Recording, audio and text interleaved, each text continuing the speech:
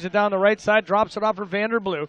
And now Scotty Machado up top goes left side to Holland, down low. That's Zubac off the glass and in. In the opening half.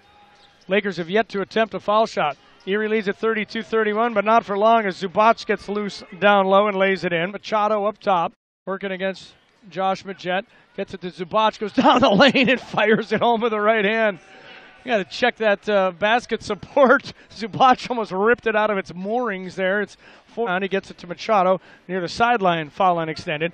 Machado bounces in the lane to Zubac, hits the cutting Holland on the left baseline. He lays it in.